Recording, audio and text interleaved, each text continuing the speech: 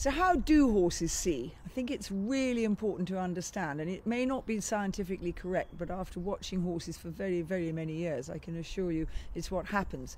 A horse sees distance, he sees the fence coming up to him out of the bottom half of his eye. So, if he's on the bit, it'll be very difficult for him to see. I think I've probably seen four or five horses in 35 years of teaching that can see from being on the bit. So they need to be up there. The distance vision is the bottom half of their eye. Conversely, their close vision, when they need to inspect the ditch or the spooky board in front of the fence or whatever it is, the water, they'll throw their heads down because the top half of their eye is their close vision.